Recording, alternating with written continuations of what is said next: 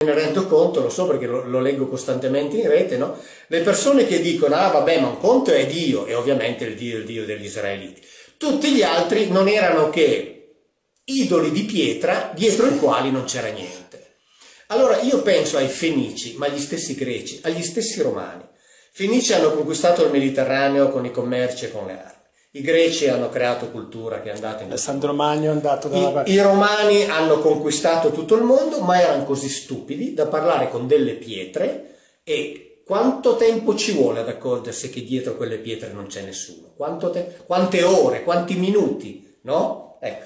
Invece queste civiltà, secondo questi che sostengono queste tesi, parlavano con delle pietre perché erano dei poveri stupidi. Hanno conquistato il mondo, ma parlavano con delle pietre o dei pezzi di legno. No, ciascuno parlava con il suo o con i suoi, meglio ancora, perché non è possibile che gli israeliti fossero gli unici intelligenti, che poi tra l'altro anche lì. All'interno della famiglia di Abramo c'era Abramo che, fra virgolette, parlava con un individuo esistente. Eh. Il fratello di Abramo parlava con le pietre. È fratello stupido, non so. Allora è fratello stupido e Abramo non, non ha mai perso, mai perso mezz'ora a, a spiegargli la differenza. Ma no, ma vieni a parlare col mio che lo vedi. Ecco, il mio vieni che te lo faccio vedere, no? E quando è che la smetti di parlare con le tue pietre? Mezz'ora non l'ha mai persa. Cioè, capisci che non è sostenibile. Certo. Cioè, io capisco che la teologia lo deve sostenere, perché altrimenti deve riconoscere che, che ce ne sono altri uguali a lui.